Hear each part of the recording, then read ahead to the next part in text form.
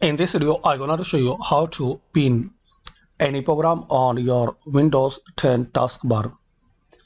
So friends, as we can see in this taskbar are list of programs which uh, I pinned and I add it here.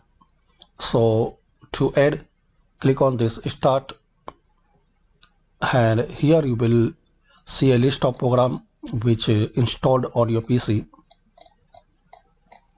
so any program you want to add on your Windows 10 taskbar like Zoom? So right click then click on pin to start and to add taskbar hover cursor to more and click on pin to taskbar. So as we can see now this uh, zoom application is uh, on this taskbar.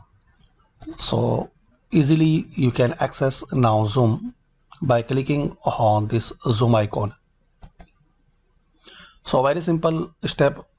Firstly click on start and find out program which you want to add on your windows 10 taskbar. Then right click hover cursor to more and then click on pin to taskbar that's it. And if you want to remove so right click there and click on unpin from taskbar.